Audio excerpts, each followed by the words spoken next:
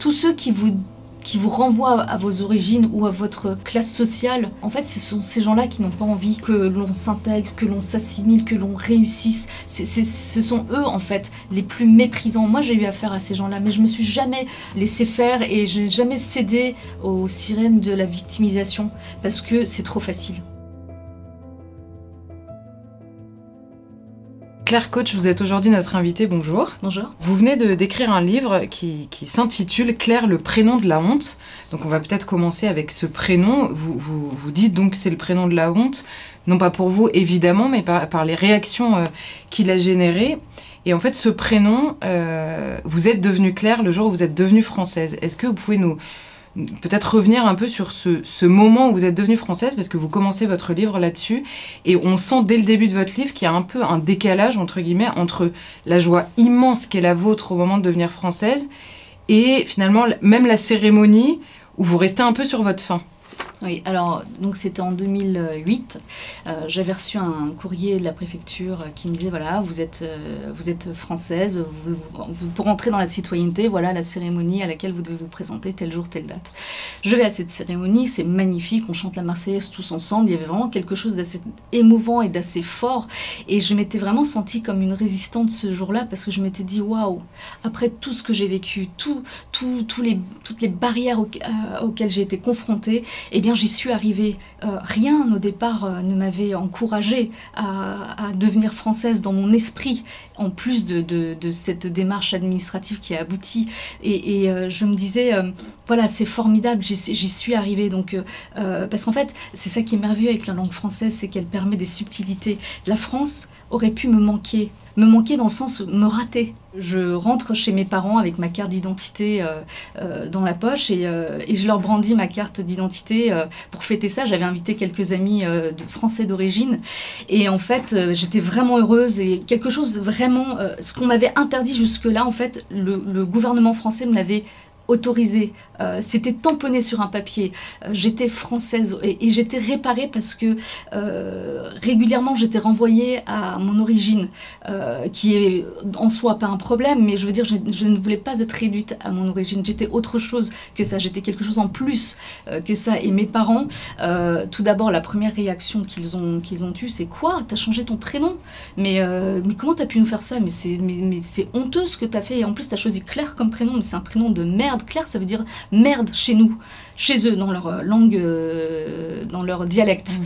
Et, euh, et, en plus de ça, il y avait ses amis d'origine française, française qui, eux, m'ont dit Ah bon, alors, mais raconte-nous comment s'est passée cette cérémonie? Quoi? T'as chanté la Marseillaise? Mais quel chant horrible, violent. Comment on peut faire ça à des étrangers? Et là, j'étais surpris de, vraiment de leur part. Je me suis dit, mais jamais je serai française à leurs yeux. Ils me voient encore comme une étrangère, malgré tout ce que, tout ce que je leur racontais, euh, tout, ce que je, tout ce que je partageais avec eux sur cet amour de la France. Je me dis, mais à quel moment on est français en fait? Donc j'avais ni l'appui, ni le soutien de, ma famille, ni celui de mes amis et de mes, de mes collègues de l'époque, euh, qui comprenaient pas du tout, euh, tout, d'abord, c'est cet amour de la France, et en plus cette volonté de, de changer de prénom. Ce qui m'a sauvée réellement, euh, c'est qu'en fait, comme j'étais une fille issue d'une famille anatolienne, mes parents n'avaient pas misé sur moi. J'étais hmm. rien pour eux, en fait. Donc, j'avais tout à prouver et j'avais envie de leur montrer que je valais le coup. Moi, leur enfant, c'est terrible à dire, hein, hmm. euh, mais j'étais une citoyenne de seconde zone dans ma propre famille. Mon destin, c'était d'épouser l'homme qu'on allait choisir pour moi. La vie qu'on allait choisir pour moi, c'est-à-dire être maman, euh, femme au foyer, euh, un buvard. Moi, j'appelle ça un buvard, c'est-à-dire qu'à leurs yeux, je devais m'imprégner de ce qu'allait être mon mari. Donc, il fallait qu'il soit de leur communauté et et, plus particulièrement de préférence de leur famille et du village. Voilà mhm. ce qu'ils voulaient pour moi. Mais moi, je ne voulais pas de cette village. J'avais envie de choisir moi-même de, ce que j'avais envie, envie de faire. Mhm. Donc ça, le fait de, dès le départ, de pas être, euh, enfin que ma famille ne comptait pas sur moi mm. pour l'avenir, voilà, ça, ça m'a sauvée. Alors, on va revenir effectivement sur le refus euh, de, votre assimilation par votre entourage et même beaucoup plus largement que votre entourage. Euh, mais sur la question du prénom, qui est donc le titre de votre livre, la, la, question vraiment du prénom a souvent défrayé la chronique en France. Et vous, vous dites très clairement dans le livre, vous dites en fait si euh, si certaines personnes choisissent un prénom qui est parfois étranger, c'est bien qu'il dit une appartenance. Et on a l'impression dans votre livre que vous dites finalement à la France, mais comprenez que le prénom dit évidemment une appartenance. Est-ce que c'est ce qui vous a poussé? Est-ce que c'était important pour vous, inimaginable, de garder votre prénom euh, d'origine turque en devenant française? Alors moi, bien évidemment, je parle de mon expérience personnelle et je dis pas qu'il faut faire comme moi. Ce que je remarque surtout, c'est que quand je dis que moi, j'ai choisi un prénom français, c'est très mal accepté. Mm. En fait, c'est ça qui est terrible, c'est que quand on est quand on a un prénom étranger, en fait, le problème, c'est pas, c'est pas d'avoir un, prénom étranger. Moi, je me rends compte que le problème, c'est quand on est étranger, qu'on veut avoir un, un prénom mm. français. Là, ça pose problème. C'est incroyable, en fait. C'est vraiment. Euh, incompréhensible. Je comprends pas où est le problème. En fait, c'est pas moi qui dis euh, que c'est mal d'avoir un prénom étranger. Moi, mes frères, par exemple, ils ont gardé leur, euh, leur prénom euh, d'origine. En plus, ils sont nés en France, donc ils sont, ils sont, ils étaient déjà français. Moi, j'étais née à l'étranger, en plus. Donc, en fait, il y avait tout un tas de choses à, comment dire, à réparer aussi. C'est pas, je dis pas que c'est mal d'être né à l'étranger, mais déjà, je partais pas avec les mêmes chances que, que mes frères, même sur ces questions identitaires. Et eux, en fait, contrairement à moi, eux, euh, ils n'avaient pas eu tous ces problèmes-là. D'abord, j'étais une fille. Donc c'est complètement différent. Euh, on n'a pas été élevé de la même manière. À partir de la puberté, tout a changé dans, dans, mm. ma vie. Je viens pas d'une famille très religieuse, mais très conservatrice. Mm. Donc, euh, euh, où la place de la femme n'est pas la même que celle d'un garçon. Mm. Moi, tout ce que j'ai vécu, mes frères ne l'ont pas vécu, ils ne l'ont pas subi comme moi. Et j'ai, j'ai, comment dire, à chaque fois, j'ai dû me surpasser, me dépasser pour avoir une miette de ce qu'ils avaient eux. Voilà. Hmm. Et alors, l'idée un peu sous-jacente de votre livre, vous allez me dire si je me trompe, mais on a l'impression que vraiment le fil rouge, c'est que vous essayez de, de crier un peu un cri d'alarme et même de détresse parfois personnelle. On a l'impression que, que ce soit, et d'ailleurs dans, la réaction de votre famille euh, le jour où vous arrivez avec votre carte d'identité française, ou même de ses amis d'origine française euh, qui vous disent Mais comment ça, on vous a fait chanter la Marseillaise On a l'impression que dans la tête de beaucoup de gens très différents, finalement, aimer la France quand on n'y est pas né, c'est trahir les siens. Alors ça, franchement, c'est quelque chose qui m'échappe complètement parce que aimer la France, ça ne veut pas dire qu'on déteste son pays d'origine. En fait, c'est comme s'il fallait que je déballe mon CV. Et puis quoi, j'aime aussi les haricots, il faut que je le dise. Enfin, je veux dire, c'est aussi ridicule que ça. Pourquoi toujours il, faut, il faut en fait toujours que je rassure ces personnes-là. Non, en fait, d'abord, j'ai pas besoin de le dire. Moi, je suis en paix avec, avec tout ça. J'ai trouvé l'apaisement. Et en fait, je me suis dit cette chose toute simple. Je vis en France. Est-ce que j'aime ce pays? Oui, j'aime ce pays. Comment je me définis? Ben, Je me définis comme une Française parce que tout en moi est français. Euh, mes goûts musicaux, euh, mes goûts cinématographiques, ma vie, elle est là en fait. Je veux dire, même la mode, euh, enfin, tous les pans de ma vie sont, sont français. Donc, et si je m'étais sentie turc, par exemple, ben, en fait, c'est juste une question de bon sens. Je fais quoi? Ben, Je vais vivre là-bas, je serai en paix là-bas. En fait, c'est pas du tout un truc conflictuel.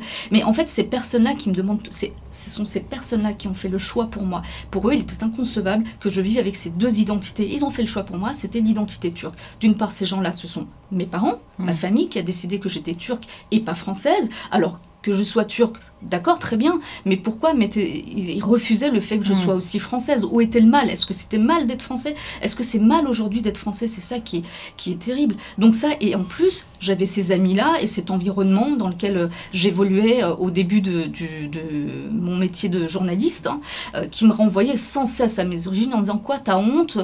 Comment tu peux avoir honte? Mais c'est bien d'avoir des origines. Et, quand je leur posais la question aussi, ils, ils cherchaient toujours un le milligramme de sang étranger qu'ils avaient, comme si c'était toujours mal d'être français. Mais enfin, je veux dire, on, remonte à quand aux Gaulois, on remonte à quand en fait pour dire que on est, on est, on est, on est, on est étranger, va, on va chercher nos origines jusqu'où? Pourquoi on ne pourrait pas juste simplement dire voilà, on est mm. français avec des origines euh, différentes. Quel est le problème en fait? Mm. C'est là où j'essaie d'expliquer dans mon livre que l'identité et l'origine, ce sont deux notions complètement différentes. L'origine, c'est quelque chose avec laquelle on est. On ne peut pas influer dessus et puis ce serait bête en plus de le mm. supprimer. Ce serait insensé de vouloir supprimer ça. Et l'identité, c'est quelque chose qui évolue au fil de sa vie. Mon identité, elle est aussi euh, celle d'une journaliste. Je suis une femme. Euh, et puis en plus, ça, ça, ça rejoint ce que je pense aussi sur l'intégration l'intégration et l'immigration, mmh. euh, l'assimilation, pardon. ce sont aussi deux notions différentes et ça dépend de quel point de vue on se place. Mmh. L'intégration, pour moi, c'est du point de vue de l'immigré qui ne veut pas changer, qui est selon moi la porte ouverte au communautarisme, et c'est quand on dit vous et nous, quand on sépare. Voilà. Mm. Il y a eux et il y a nous. C'est ça l'intégration. En revanche, l'assimilation à la française, c'est ça qui est formidable. C'est cette histoire de l'identité. C'est-à-dire qu'on peut venir des quatre coins du monde, pourvu qu'on épouse les valeurs de la France, qui sont la liberté, l'égalité, la fraternité, et qu'on aime ce pays, eh bien on est français. Et là où on le remarque le plus, moi j'observe, hein, je suis pas une fan de foot, mais les grands matchs, je les regarde, ça m'intéresse évidemment. Bah, c'est quand on soutient la France face à un pays étranger face à un autre pays, bah ouais, moi je soutiens la France et je suis fière. Mm. Et j'ai envie, euh, j'ai envie de, de, de partager ça, j'ai envie qu'on qu'on se dise, c'est pas mal d'aimer son pays, c'est notre pays, on vit là. Et, et plus notre, notre pays ira mieux, plus on, plus on aura ré- euh, résolu ces problèmes-là, et, et, euh, plus, on aurait, en- plus, plus on se sentirait apaisés tous, en fait. Mm. Dans votre livre, vous, vous parlez, parce que c'est souvent quelque chose qu'on entend aussi, que la- non seulement la France, mais même les personnes s'enrichissent en ayant plusieurs cultures, en tout cas deux euh, pour certains en France. Et vous, vous écrivez, posséder une double culture n'est pas une richesse, c'est un tiraillement permanent. Et ça, vous l'avez vraiment vécu aussi. Oui, je l'ai vraiment vécu et, euh, je l'explique euh, dans mon livre, c'est un tiraillement permanent, non pas parce que moi je le vis mal, mais parce que les autres m'en imposent une en fait. Ils refusent la double identité. Ils refusent la double culture. C'est en cela que je dis que c'est c'est pas vrai, c'est pas un cadeau. Parce que pour mes parents, euh, je n'étais que turque et je devais faire le choix, le bon choix, celui de la Turquie. Pour mes copains dans- en dehors de ma, famille, c'était la même chose. Il n'était inconcevable pour eux que je me sente française, puisque j'avais des origines étrangères. J'étais turque. Mhm. Et, et- et dans le cas contraire, c'est que j'avais honte de mes origines. C'est en ça que c'était un tiraillement. C'est la peur qui guide hein, Mhm. tout ça. Euh, moi, je sais qu'au tout début, j'ai été élevée vraiment comme une turque jusqu'à à peu près mes 15 ans. Euh, et, et j'avais. euh, J'étais toujours attirée par la culture française. Au fond de moi, c'était très très fort. Mais j'avais, on me faisait peur. On me disait que j'allais me perdre, Mm. Hein, que j'allais faire le mauvais choix, que j'allais être une dépravée, euh, j'allais finir sur un trottoir, euh, que c'était pas les valeurs de ma famille.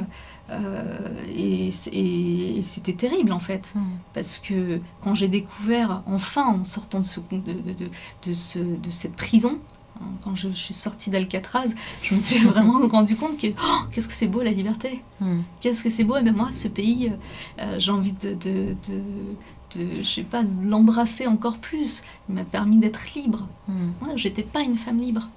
J'étais pas une femme libre. J'étais pas un individu libre déjà, Mm. au-delà d'être une femme. C'était une circonstance aggravante d'être une femme.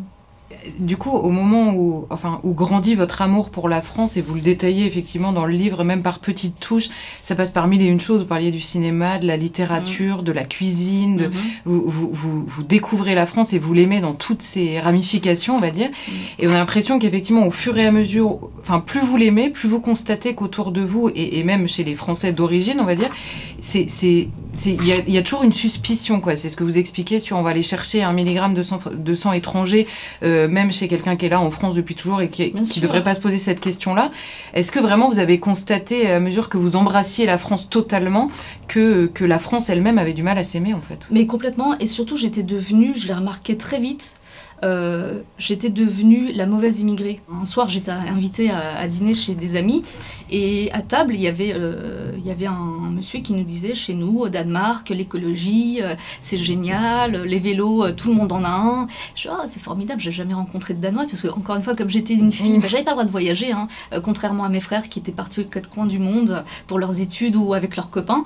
Moi, j'avais jamais quitté ma cité de Cronenbourg à Strasbourg. Mhm. hein, et le, le plus loin que j'ai été, c'était un, un petit patelin à 10 km où j'étais au lycée. Et donc, je lui ai dit, c'est formidable. Alors, euh, euh, bah, parlez-moi un peu du Danemark. Alors, vous êtes danois? Et il me dit, alors pas directement, c'est mon arrière-grand-mère qui est danoise. Mhm. Et c'est là que je me suis dit, mais quoi? Qu'est-ce que c'est que ce... Quel est le problème? Mais je veux dire, est-ce que c'est mal d'être français? Moi, j'avais envie de découvrir ce que c'est vraiment les Français, des vrais Français. Vraiment, c'est incroyable de vivre en France, d'avoir mon âge, 37 ans, et de n'avoir jamais, euh, avant d'être journaliste, rencontré des vrais Français. Je veux dire, des Français dont c'est le pays depuis, euh, depuis toujours, j'ai Mhm. envie de dire, en fait. Euh, et et- et c'est ça qui, que je dénonce aussi dans mon livre. Comment euh, on peut être élevé comme une étrangère? Comment on peut grandir comme des étrangers en France? Mm. Elle est là l'injustice en Mm. fait. Quand je parle d'assimilation, qu'est-ce que ça veut dire l'assimilation à la française? Ça veut dire qu'on est des Français au même titre que les autres qui sont là depuis toujours. C'est ça l'égalité. Et l'inverse, l'inverse c'est de, de la xénophobie. C'est du rejet. C'est ça en fait. Et on nous a fait croire que euh, le multiculturalisme c'est formidable, Euh, alors que euh, pas du tout. Qu'est-ce que c'est le multiculturalisme? C'est chaque communauté qui vit dans son coin sans se mélanger. Moi je l'ai vécu dans ma cité ça. Il y avait les communautés arabes d'un côté, les communautés noires de l'autre, les communautés turques d'un côté. Personne se mélangeait dans le parc qui est au centre de notre quartier. Personne. Hmm. Est-ce que c'est ce modèle-là dont on a envie J'ai envie d'un beau pays uni.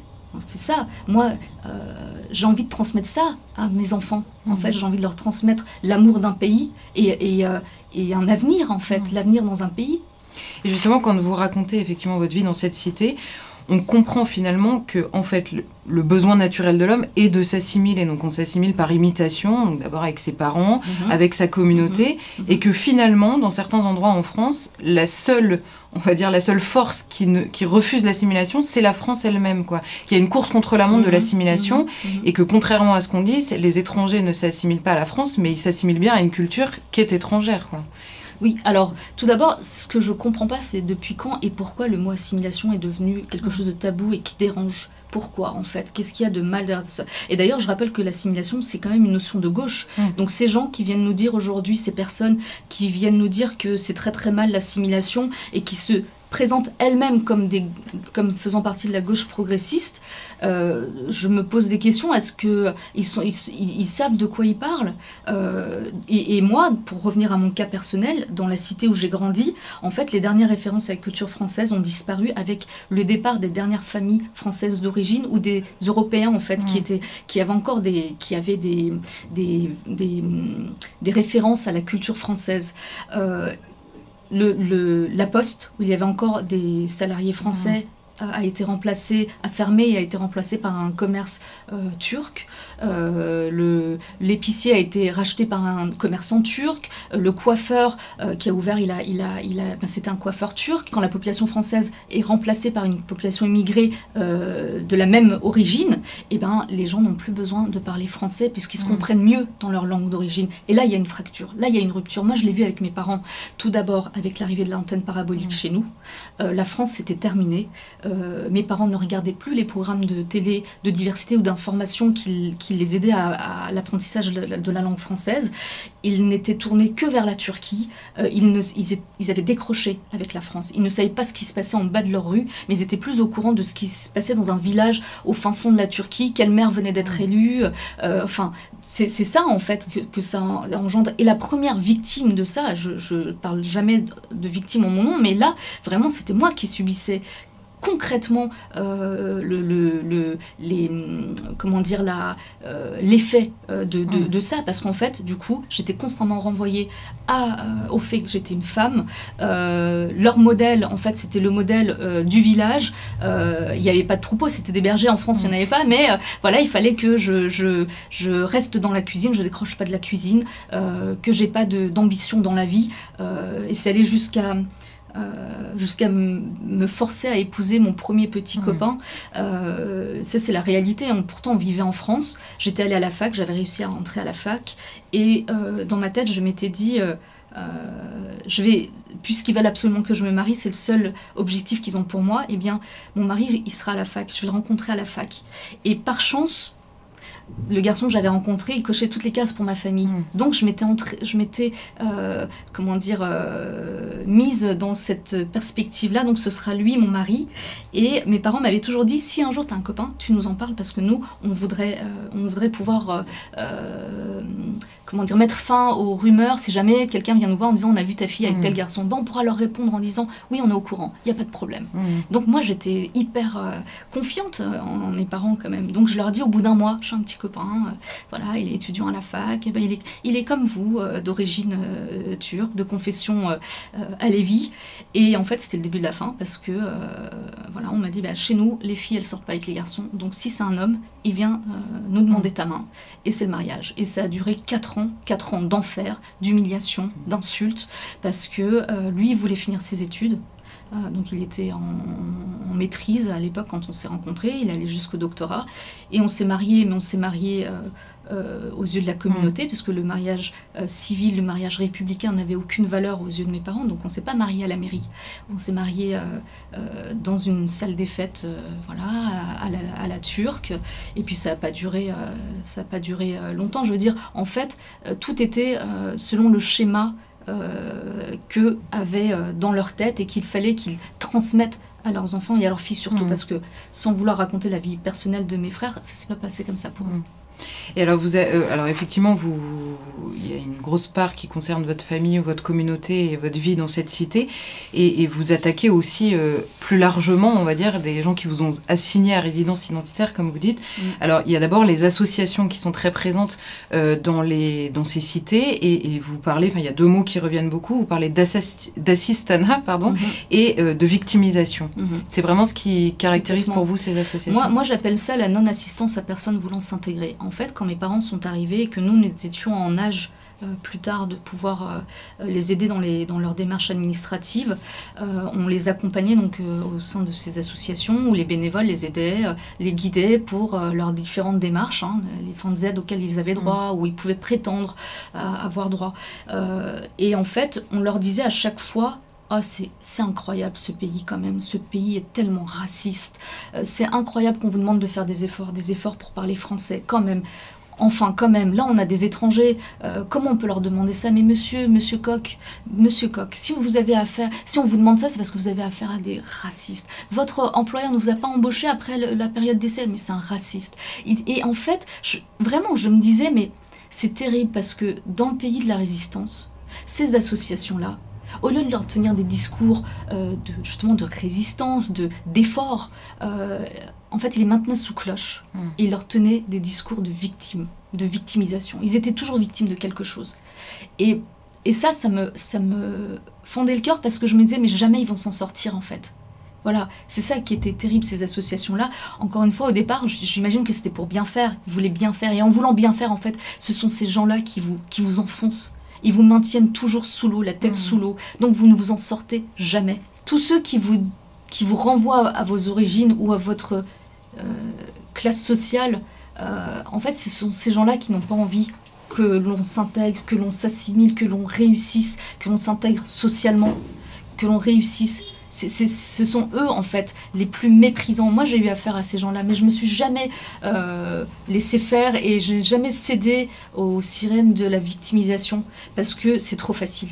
Mm. C'est trop facile et ils auraient gagné. Si j'avais baissé les bras, bah, ils auraient gagné. Et ça aurait été la double peine pour moi. Non seulement j'aurais échoué en essayant, mais en plus eux auraient gagné. Donc c'était, mm. j'avais pas envie de ça. j'étais beaucoup plus forte. Euh, intellectuellement que, que ça. C'est trop facile de dire ouais c'est la faute de l'autre, ah, si j'ai pas réussi, si ceci, si cela. Et toujours, on trouve toujours 50 000, euh, raisons à, ces échecs. Et en fait là, l'intelligence aussi c'est de pouvoir se remettre en question et de se mm. dire ok d'accord, peut-être que je suis pas la meilleure. Sûrement, sinon j'aurais eu le poste. Et sinon j'aurais été dans cette boîte, j'aurais réussi. Mais euh, comment je peux faire pour euh, être la meilleure, eh bien, je vais rebosser. Bosser, bosser, bosser, bosser, bosser. Moi, j'entendais beaucoup mes parents qui disaient Oui, nous, en tant qu'étrangers, on doit bosser trois fois plus que les autres. Et un jour, j'avais accompagné mon père à un, entretien. Mm. Un entretien d'embauche. J'avais fait l'entretien à sa place pensant bien faire. Je voulais tellement qu'il ait ce, boulot. J'avais envie qu'on habite dans un pavillon. C'était ça mon rêve le plus ultime. Je voulais porter des jupes, marcher dans la rue avec des copains, des copines qui ont des chiens, qui se promènent, machin, une vie normale. J'en avais marre de la cité. La cité où dès que je sortais en débardeur, je suis sortie qu'une fois, je me suis fait traiter de tous les noms. Je, je voulais exister, je voulais, je voulais être féminine. On parlait de féminisme et la féminité, c'est ça le cœur du, féminisme aussi. Euh, je, voulais, euh, je voulais exister. Et donc j'accompagne mon père à cet entretien. Et en fait, bah, il piche pas ce que lui dit le, directeur. En plus, c'était le directeur qui nous avait, euh, mm. qui nous avait reçus. Et donc, on sort de là et, et, mon père dit il est raciste. Hein. Voilà, c'est pour ça. Je lui dis, mais papa, tu parles pas français. Tu crois qu'il va embaucher quelqu'un qui parle pas français, mais mets-toi à sa place. T'es patron. Tu vas embaucher quelqu'un qui comprend pas ce que tu dis et prendre un risque. Et, même par rapport euh, aux enfants, c'est-à-dire par rapport à moi, par exemple, même plus tard, j'avais 23 ans, euh, je devais, euh, je devais, donc j'étais séparée, euh, j'avais réussi à, me sortir de cette, de cette histoire de mariage entre guillemets, on n'était pas mariés hein, au mmh. de la, loi, mais j'étais revenue chez mes parents, j'étais jeune étudiante et je voulais préparer les concours de journalisme et déjà je ressentais la honte de mes parents dans leur regard et même dans ma cité quand je marchais sur le trottoir, mes copines de toujours changer de trottoir. C'est-à-dire ce qu'on sait pas non plus sur les cités, c'est que euh, la solidarité féminine, elle n'existe pas. Elle n'existe pas. Même entre filles dans la galère, ça n'existe pas. Tout le monde a tellement peur. Les filles, elles avaient tellement peur que leur réputation soit euh, entachée en, parlant avec moi. Ou, eh ben, du coup, tout, elles changeaient de trottoir. Donc, je rentre chez mes parents, je sens qu'ils ont une honte. Euh, ils, me demandent si j'ai envie de partir, si j'ai envie d'avoir mon propre appartement. Évidemment, je ne rêvais que de ça. Et, euh, et, mon père, un jour, m'accompagne à un, des concours de journalisme, un oral. Et, et c'est là où je dis on s'en sort jamais parce que il m'a pas accompagné pour être gentil, il m'a accompagné parce qu'il voulait, il voulait être sûr que j'allais euh, passer un oral. Lui, il mm. pensait que j'allais voir un garçon.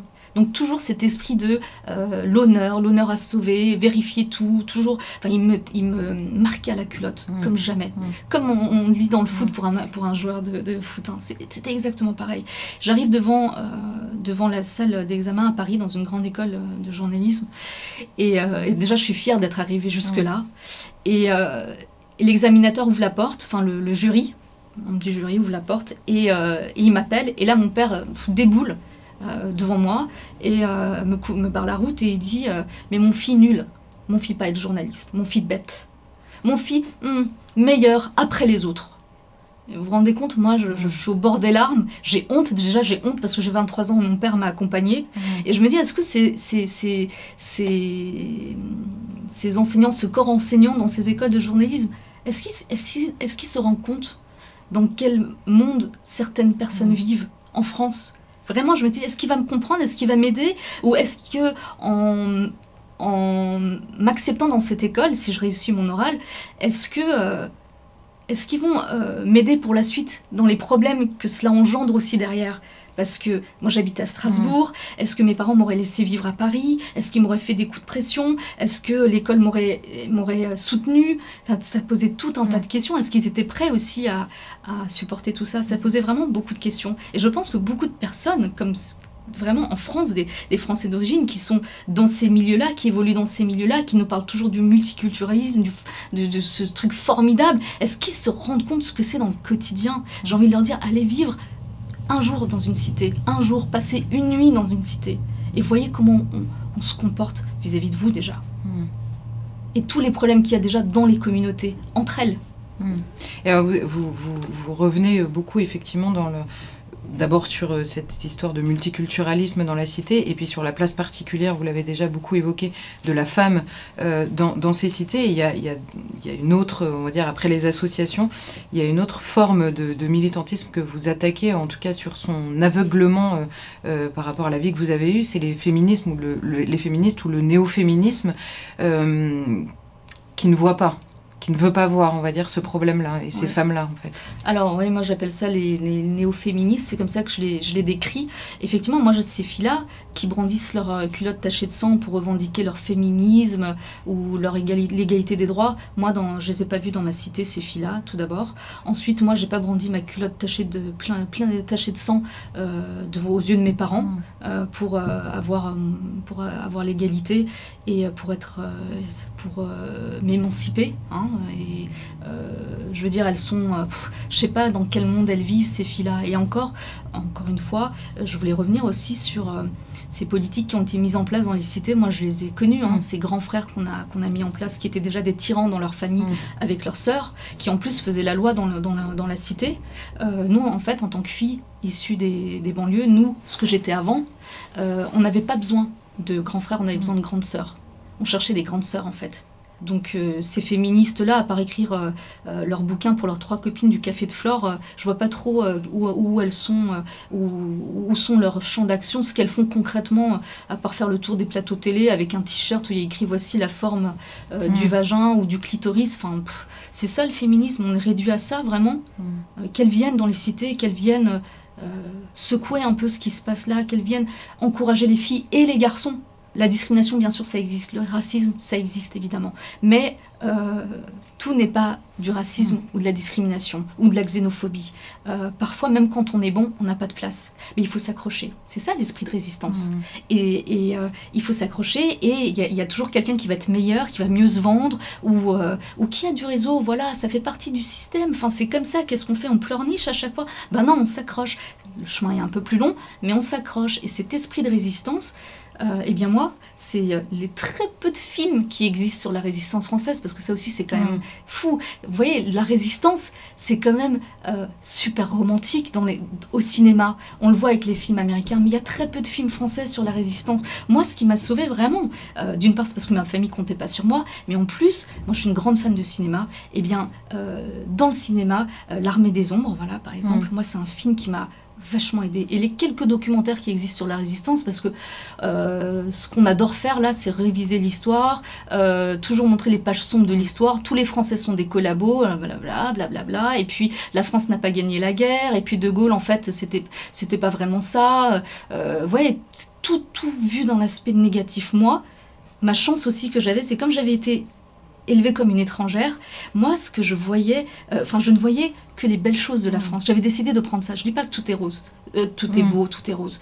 Mais ce qui est formidable et qu'on ne dit jamais, c'est que la France, elle a fait des erreurs, mais elle sait les réparer, ces erreurs. Et moi, dans le cinéma, c'est ça qui me plaisait. Et dans le, dans le documentaire, cet esprit de résistance, eh bien moi, je, je- je l'ai fait euh, mien et, et je l'ai imposé dans ma famille. C'est vrai que j'ai dit, c'est comme ça et pas autrement. Mm. Vous m'aimez pas, vous me rabaissez sans cesse, mes choix ne vous conviennent pas, je suis jamais assez bien pour vous, et ben c'est comme ça. Et Mm. je vais partir. Et je vais partir, je vais être journaliste, parce que pour moi, c'était euh, la femme libre par excellence. Mm. La française libre, pour moi, elle était journaliste. Dans, dans, dans mon esprit, chacun fantasme un peu ce qu'il veut. Moi, c'était ça. Il faut la grande et belle histoire pour rassembler. Hein, à Mm. l'école, il faudra qu'on nous enseigne ça, qu'on nous rappelle ce que c'est la Marseillaise. Non, c'est pas un chant violent. La, la Marseillaise, c'est un chant de résistance, en fait, Mm. face à tout ce qui se passe. Encore plus aujourd'hui. Et justement, vous avez, une phrase qui est très belle. Vous dites euh, l'État, justement, dans les, différentes responsabilités que vous énumérez, vous parlez même de l'État français et vous dites il a failli quand il a cessé d'honorer les morts pour la France et de se focaliser sur les morts par la France. Oui, absolument, c'est ce que je dis. C'est l'histoire, les pages sombres de l'histoire.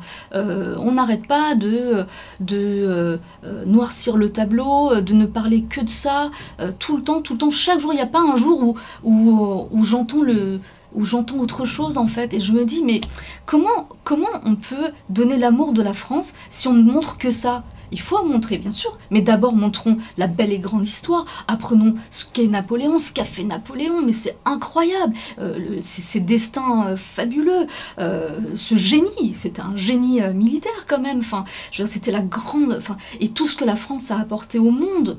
je veux dire.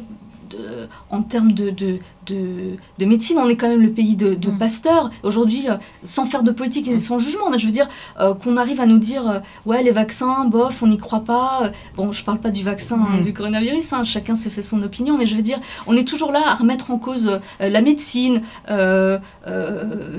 la- France, elle a, elle- tous ces grands auteurs qu'on a eus. Enfin, quand même, il y a un rayonnement. C'est Napoléon, c'est après, après Napoléon, tout ça. C'était quand on disait aux Français, vous êtes des génies, euh, impossible n'est pas français, ça c'est la Mm. phrase de Napoléon. Bah, quand, on, quand on élève des enfants avec ça, mais tout est possible. Déjà, rendons fiers les enfants, c'est Mm. ça. Et après, euh, et les Français, je veux dire de manière générale, mais ça commence tout petit déjà. Mm.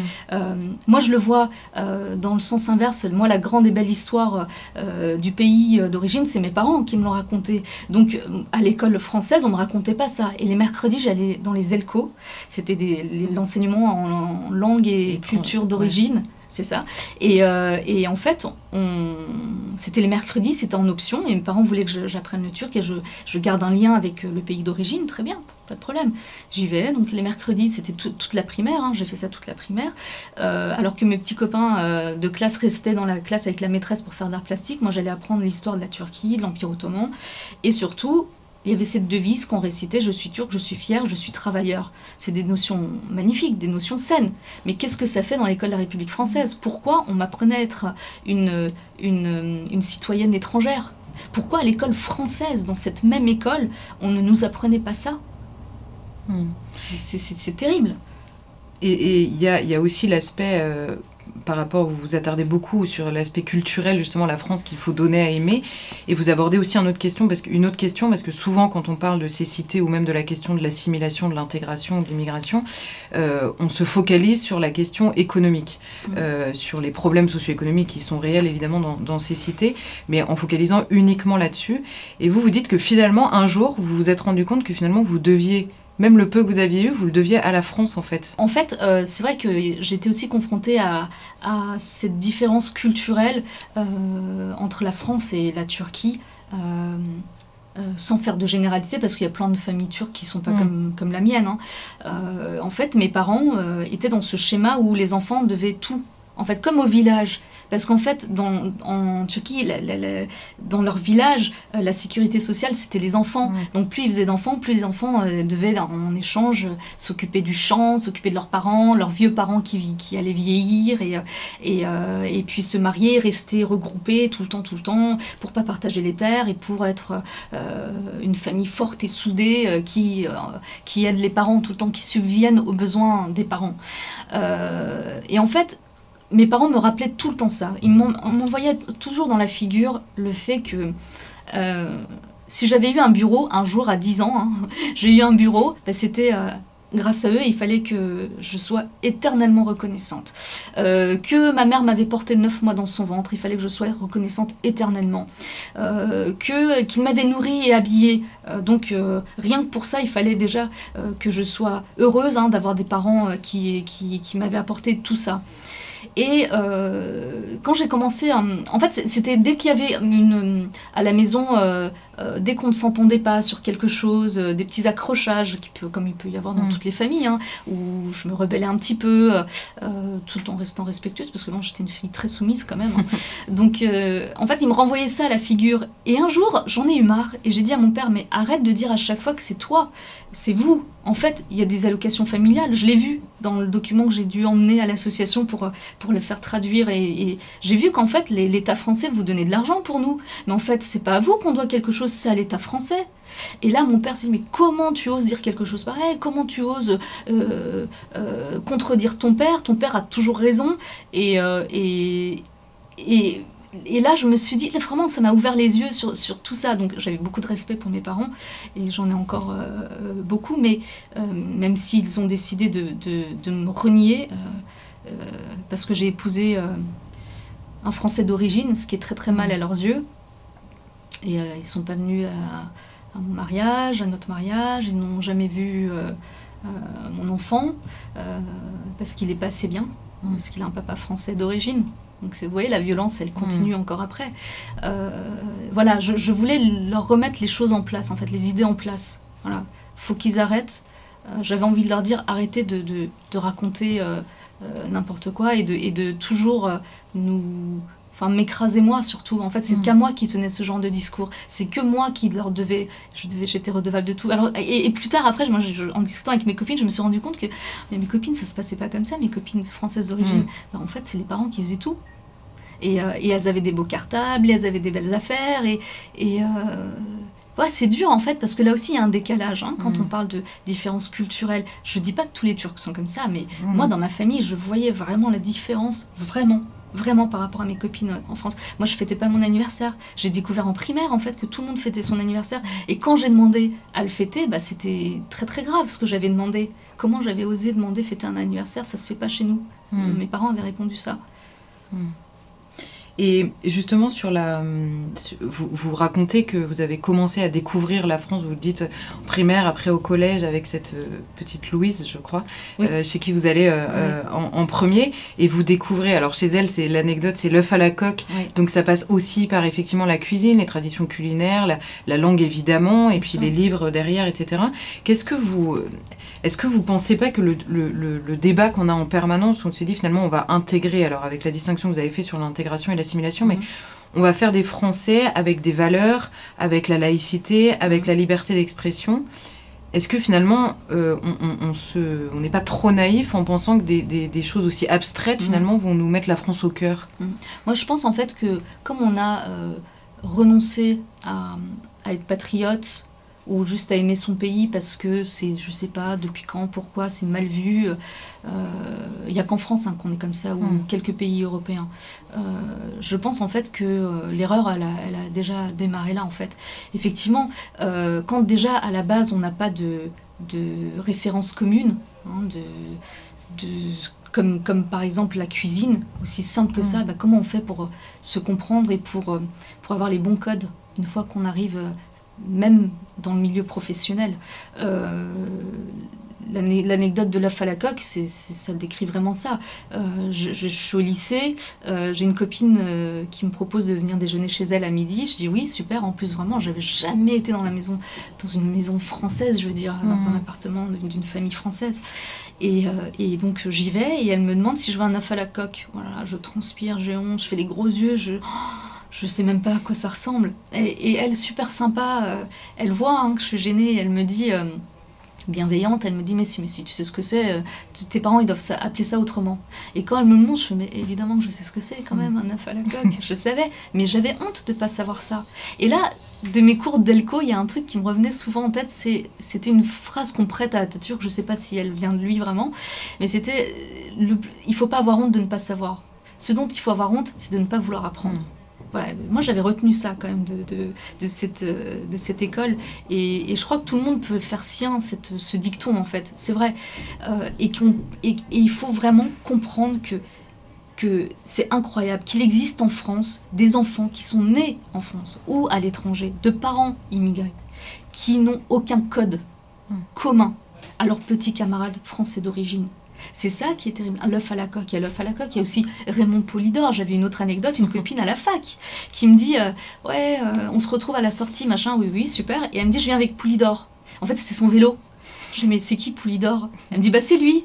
Je dis Mais c'est quoi? Je comprends pas. Je comprenais même pas ce truc qui était tellement populaire dans la culture française. Tout le monde connaît Raymond Poulidor, tout le monde avait un amour pour lui. Moi, je connaissais Naïm Süleymanoğlu, qui était haltérophile Mm. turc. Parce que mes parents ne parlaient que de la Turquie à la maison. Donc moi, toutes mes références, même mes blagues, euh, euh, les, les- les dialogues euh, hyper connus mais dans, les, dans le cinéma, tout était turc. Donc qu'est-ce que je partage après avec des copines où Je me sens mal. euh, c'est- pas de leur faute. C'est pas elles qui me rejetaient. C'est que moi, en fait, j'avais rien à parta- j'avais rien à dire Mm. parce que euh, j'avais pas de, de, de- de- quand elle faisait des blagues ou des références à des films, les bronzés ou machin, mais moi j'avais pas ces références là. Donc bah, j'étais j'étais dans mon coin et je les écoutais, j'étais silencieuse et je les écoutais. J'étais mal parce que je pigeais un mot sur deux. Mm. Voilà, je pigeais, je pigeais un mot sur deux de, de, de, de la conversation. C'est ça qui est terrible. Et finalement, vous avez voulu apprendre, ça vous a jamais Oui. quitté, vous avez fini par apprendre et par devenir totalement française. Et il y a quelque chose d'assez étonnant, on va dire, à la lecture par rapport à l'époque et à, ce qu'est la, la France aujourd'hui, c'est que vous terminez ce livre sur l'idée que vous vouliez, et ce sont vos mots, une assimilation totale, et que vous êtes arrivé sur le terrain religieux. Oui. Et, et, et pour vous, en fait, devenir française, euh, c'est, ça a commencé effectivement le changement de prénom, ça a commencé par euh, accueillir la France dans toutes ses dimensions. Et puis celle-là, elle était importante, en fait. Oui, absolument. Et euh, encore une fois, j'ai été. Alors, c'est- ça, ne regarde que moi, Mm. je ne parle que de mon cas personnel et je ne dis pas que tout le monde doit faire comme moi. Moi, c'était mon cheminement. Tout comme j'avais envie de faire partie du paysage sonore français en m'appelant Claire, j'avais envie aussi d'aller jusqu'au bout et, euh, et euh, de devenir euh, chrétienne, en fait. Et hum, là, encore une fois, j'ai été euh, confrontée à un mur hein, de la part de l'Église parce que, euh, au bout d'un an, de catéchuménat. Euh, le père de l'église, hein, le, le prêtre, me dit euh, euh, en fait, ça va, ça va pas être possible de, de- de te baptiser. euh, C'était l'année dernière, au mois d'avril. hein, c'est- on était vraiment juste avant le, le- le confinement euh, et la crise sanitaire. Donc il me dit ça va pas être possible pour toi parce qu'en fait, on réfléchit à ton cas et je crois que ça va pas être possible. Je fais ah bon, pourquoi? Bah, En fait, euh, tu es mariée, c'est ça? Je dis oui. Et en fait, ton mari était déjà marié à l'église. Je fais euh, oui, mais il est divorcé. Hmm. Non, mais à l'église, on ne divorce pas. Je fais d'accord, mais en quoi moi je suis Mm. fautive? Déjà moi je viens d'une autre culture, d'une autre euh, croyance, et je, et, et je croyais que Dieu n'était qu'amour et que qu'il fallait ouvrir les portes à tout le monde, à tous ceux qui le souhaitaient, qui le désiraient. Non, c'est compliqué. Tu es euh, pécheresse, euh, tu es adultère. euh, c'est une relation adultère parce que ton, ton mari est toujours euh, marié à l'Église. Donc on m'a on m'a dit non. Et là, je remercie le père Francis s'il regarde un jour cette vidéo Mhm. parce que euh, j'ai réussi à, à aller au bout de ma quête. Euh, finale grâce à- au Père Francis. Et là, je me dis encore une fois, ces personnes-là voulons bien faire, machin, toujours à... à... Je veux dire, on m'a rien épargné jusqu'au Mm. bout, en fait. Voilà, on m'a rien épargné jusqu'au bout. Mm. Mais j'y suis arrivée parce que j'avais envie, j'avais cette force de persuasion, j'avais envie. Et personne n'allait décider pour moi. Mm. Comme ceux qui décident pour moi comment je dois aimer la France, que le patriotisme c'est pas bien, que je suis à la limite de, je sais plus, un jour une, copine euh, m'avait dit euh, tu as un nationalisme malvenu parce que euh, j'avais dit que j'aimais la France. Comment on peut dire ça à quelqu'un qui, qui a épousé ce pays, qui, qui aime ce pays, qui cache pas les choses négatives, mais qui a décidé de- de- d'être positive et de regarder vers l'avant et pas dans le rétroviseur, qui a décidé de regarder la- vers l'avant Comment on peut dire des choses pareilles? Donc ces personnes-là, c'est pas elles de, de me dire comment je dois aimer mon pays, ici en France, la France, et comment je dois aimer mon pays d'origine. C'est Mm. pas à eux de décider. Moi, je suis en paix. J'espère qu'ils seront en paix aussi, ces gens-là. Il y a, il y a, il y a aussi une justice que vous voulez rendre dans, Mm. dans votre livre, c'est que quand vous parlez de cette question de la victimisation, on va dire, Mm. dans, dans l'espace public, vous, vous notez aussi, d'abord vous la dénoncez parce que vous préférez l'effort, on va dire, à la victimisation. Et la deuxième chose, c'est que vous dites toutes les victimes n'ont pas la même lumière, euh, on va dire, dans le débat public, Mm. euh, s'il faut parler de victimes. Mhm. Et vous parlez de toute cette France complètement euh, encore dans l'ombre et dont personne se soucie et que, que vous appelez, comme d'autres avant vous, la France périphérique. Oui, oui je, je- moi je suis euh, une militante de la méritocratie. Je crois que moi j'aurais jamais accepté euh, de faire partie de quotas euh, sur discrimination euh, positive ou je ne sais pas quoi. Moi je suis pas une couleur de peau, je suis pas une, une origine. Moi je veux qu'on vienne me chercher pour mes compétences. hein, pour ce que je vais apporter à une entreprise ou de manière générale dans, le pays. Je crois en plus que quand on fait partie de ce genre de dispositif, en plus, eh bien, on- les autres n'ont pas le même regard sur vous. C'est un peu la, la charité, en fait. On vous regarde comme ça. Euh, Je l'ai vu dans une entreprise où j'ai travaillé, quelqu'un qui a été embauché sur, euh, sur les critères de discrimination positive. Eh bien, on les loupe pas, ces gens-là, parce que Mm. la moindre erreur, alors devant, il se passe rien, mais derrière, c'est du mépris. On se fout, on se fout de leur gueule, hein, euh, concrètement. On parle bien sûr, il y, y a ça, il y a la discrimination positive, il y a ceux dont on ne parle jamais, hein, ce qu'on appelle la Mm. France périphérique, qui sont euh, encore plus méprisés que les autres. Euh, et par exemple, sans, sans faire, euh, sans les pointer du doigt, sans généraliser, sans les réduire à ça. euh, avec tout le respect que j'ai euh, pour eux, hein, on va dire les Kevin et les Jessica, par exemple. Mm. Hein, moi, j'en ai jamais vu dans les rédactions où j'ai travaillé, par exemple. Euh, et pas que dans les rédactions, dans les, dans les, euh, dans les milieux un peu intellectuels. euh, à Paris, j'en ai, j'en ai, j'en ai pas vu. Ils sont où? Personne ne parle d'eux. Personne ne, les pousse à aussi s'élever socialement. Hein, Parce qu'il y a aussi un problème social. Mhm. Il, faut, il faut parler de, de, de cette réalité, de cette jeunesse aussi, euh, hein, qui est, euh, je pense aussi que le problème est aussi économique et que, tout, que, que les indigénistes, par exemple, vont toujours voir ça sous le prisme de la race ou, ou, euh, ou de la xénophobie, euh, machin. Mais non, il y a aussi une réalité sociale. Cette réalité sociale-là, par exemple, si... je vais prendre quelqu'un qui a réussi, qui est issu de l'immigration, qui, dont, dont, dont euh, euh, physiquement euh, euh, on identifie comme issu de l'immigration, et une Jessica euh, qui est pauvre, qui vient de sa banlieue, ou un Mohamed, hein, Mm. euh, un Karim, qui va être discriminé Est-ce que c'est la personne qui vient d'un milieu social aisé ou l'autre? Voilà, c'est pas une question de race, c'est ça Mm. que je veux dire. C'est pas une question. euh, il faut, il faut, il faut juste arrêter avec tout ça, en fait. Comment on fait pour que socialement tout le monde y arrive, tous ceux qui en ont envie, encore faut-il avoir envie. Mm. hein. Comment on fait pour, euh, pour l'égalité, justement, cette égalité déjà à l'école? Euh, Moi, je l'ai- je l'ai je l'ai- je l'ai- je l'ai remarqué à l'école aussi, ça, cette, ce- cette balance qui n'était pas, qui était pas juste euh, dans l'enseignement. Je venais d'une banlieue, ben, on nous apprenait. Qu'est-ce qu'on nous apprenait à l'école sans, sans, critiquer les profs, mais je il y avait beaucoup d'idéologie, on diffusait beaucoup d'idéologie sur le bien, le mal, et, et puis et on nous apprenait à prendre le tram. Enfin, je me disais, mais c'est quoi ces cours où Les autres, ils avancent en attendant. Mm. Hein, dans les grandes écoles et dans les grandes villes, ils avancent, ils avancent. Euh, et là, il y avait, y avait, y avait beaucoup euh, de, Français d'origine dans ma classe et beaucoup d'immigrés, mais on était tous au niveau zéro, mm. tous. Quelle chance on donne en fait. Euh, c'est ça. Et n'oublions pas aussi cette France périphérique dont on ne parle jamais. On n'en parle jamais. Et je le dis dans mon livre, un employeur, s'il a la possibilité euh, d'embaucher euh, quelqu'un issu de l'immigration ou un Français d'origine, mais il va choisir la personne issue de l'immigration. Pourquoi? Parce qu'il n'a pas envie qu'on l'accuse de, racisme ou de xénophobie. C'est ça aussi la réalité de la société. Comment on peut en arriver là en fait? Parce qu'en fait, vraiment, je crois profondément que s'il y avait un racisme d'État, comme on dit, hein, institutionnalisé à toutes les échelles. Ce serait ça, en fait, si, si, si vraiment on embauchait les gens sur des critères raciaux. Mais c'est ça, en fait, la discrimination, la vraie discrimination. C'est ça. Est-ce qu'on a envie de ce modèle-là? Moi, j'ai pas envie d'un modèle comme ça. Moi, j'ai envie d'un modèle où, euh, où euh, on a tous le, le, le, le, même socle de connaissances et qu'on nous recrute sur nos, sur nos, nos compétences sur notre intelligence, sur notre compétence. En fait, on a l'impression que dans votre livre, à partir de toute votre histoire, vous, vous retracez l'histoire de la, de, la, de la petite jeune fille euh, d'origine turque étrangère qui veut devenir française, qui comprend qu'elle veut devenir française. Et là, tout est une question de résistance, mhm. de s'accrocher, de faire des efforts mhm. pour devenir française.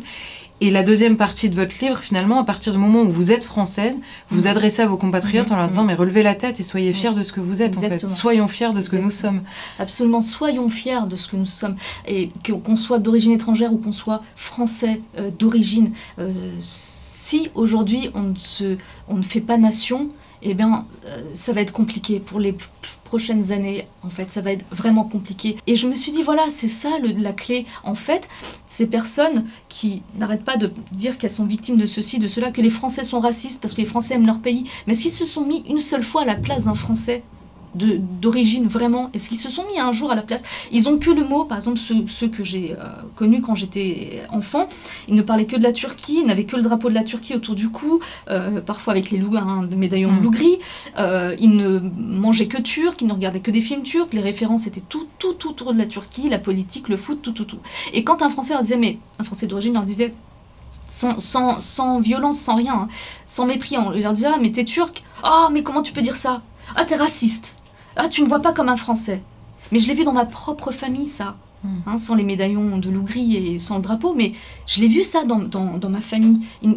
Et je leur dis, mais bien sûr, tu te présentes comme ça.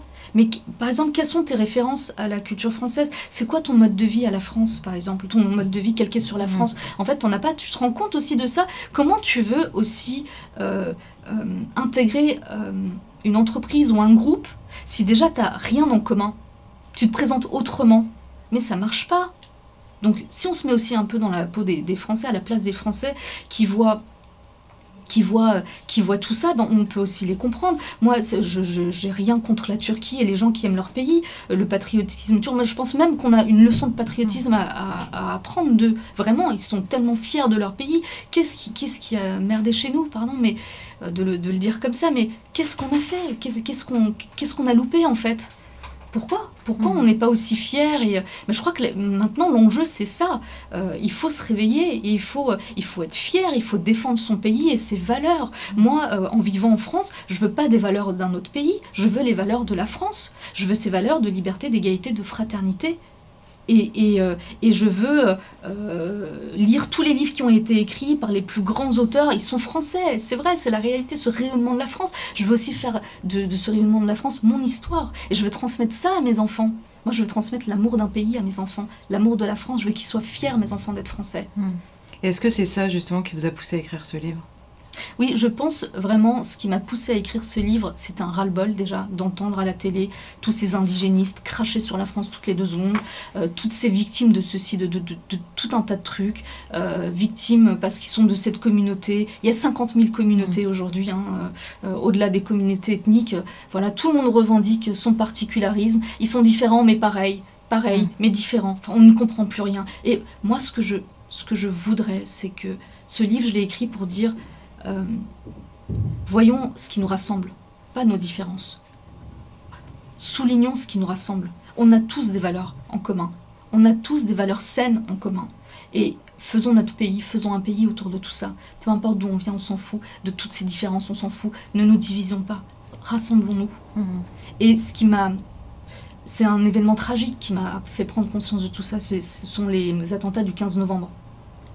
2000, euh, du, du 13 Du novembre. 13 pardon. novembre Les 2015. attentats du 13 novembre 2015, oui. Ça, ça, quand j'ai vu cette jeunesse se faire tirer dessus euh, dans les rues de Paris, je me suis dit, waouh, euh, quelle violence. Je me sens, je me suis sentie française plus que jamais à ce moment-là, en fait. Et, et, et je me suis dit, c'est pas possible, on peut pas autoriser ça. On peut pas autoriser ça dans, dans notre pays pour cette jeunesse-là. On peut pas tuer notre jeunesse pour le simple fait qu'elle qu'elle soit française et qu'elle elle soit française et qu'elle vive dans ce pays qui a ces valeurs-là, qu'on lui reproche en fait. Euh, euh, je, je, je travaillais dans une rédaction à cette époque. Et euh, je me souviens qu'à la conf de rédac, le lendemain, on- tout le monde avait besoin de parler. Hmm. Et, et j'ai dit, moi, après, tout, après le tour de table, hein, j'ai dit, bah, en fait, j'ai mis le drapeau français euh, à ma fenêtre pour la première fois. Et j'avais vraiment besoin, je crois, vraiment, j'ai dit en toute naïveté, j'ai dit exactement ça. Je crois que je me suis jamais sentie aussi française que là. J'ai été touchée vraiment dans mon identité française. Et j'étais au bord des larmes, hein, vraiment, c'était très émouvant. Je, je, je, je, je sais pas, c'est vraiment quelque chose que j'avais jamais ressenti avant. Et là, j'ai un collègue qui m'a dit Claire, arrête. Arrête avec ça, ce- c'est c'est des notions d'extrême droite, fierté, drapeau. Qu'est-ce que tu racontes? Un Français d'origine. Mhm. Et là, j'ai fermé ma bouche et je me suis dit, c'est fou. Pourquoi toujours avoir cette vision-là du pays? Pourquoi le drapeau, ce serait d'extrême droite? Pourquoi la notion de fierté, ce serait d'extrême droite? Mais si cette personne, elle, elle se sent pas française, qu'est-ce qu'elle fait là? Qu'est-ce qu'elle fait là en fait? C'est de la division Enfin, je sais pas. Et en plus, me dire ah, ça à moi qui Mm. suis d'origine étrangère.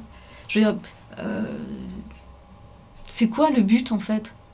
De dégoûter tous les autres de, de la France et puis d'être de- renfermé dans ses problématiques euh, euh, personnelles et identitaires à lui. Pourquoi euh, dégoûter les autres de, de ce que lui déteste en fait?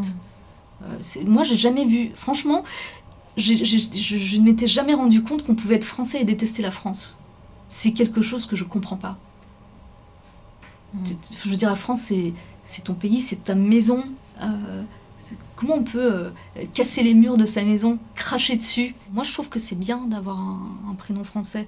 Et, euh, et sans, encore une fois, euh, stigmatiser euh, ceux Mm. qui ont des prénoms euh, étrangers, je pense à- au Kevin, au Brian, bah déjà, ça marque un échec hein, de, de la, de, de la France de, dans, dans le choix des, des prénoms, c'est vrai. C'est triste, hein, mais euh, déjà là, on avait perdu. Ouais. Non, mais c'est ça, la France, c'est un peu ce que ce qu'il y a dans votre livre, quoi. C'est la, la France n'assimile plus ses propres enfants. Ouais. Alors les enfants étrangers. Ouais, moins. exactement, exactement. La France n'assimile plus ses propres enfants. Alors comment on fait pour euh, assimiler ceux des autres? Mm. Et l'é- et l'école, dans les années 50-60, fonctionnait parce que euh, même s'il y avait des différences euh, sociales, il y avait un socle commun, une Mm. culture commune. Et aujourd'hui, en fait, l'école, elle n'a pas pensé à ça. Avec tous ces enfants qui viennent des quatre, coins du monde, l'État n'a pas réfléchi à ça. Euh, avec ces enfants qui viennent des quatre coins du monde, qui ont des cultures différentes, des croyances différentes, comment faire pour euh, unir tout ça? Mhm. Il faut unir tout ça. Moi, quand je- j'entends les ancêtres, nos ancêtres les Gaulois, c'est raciste et je sais pas quoi, mais pas du tout. Moi, je fais cette histoire mienne, en fait. Bien sûr, nos ancêtres les Gaulois, c'est ça qui est formidable, c'est qu'on dit, venez vous aussi, vous allez vous intégrer à cette histoire, vous assimiler à cette histoire. Nous, on fait pas de distinction. Tout le monde peut dire. En arrivant en France, tout le monde peut, peut s'approprier cette histoire. C'est formidable.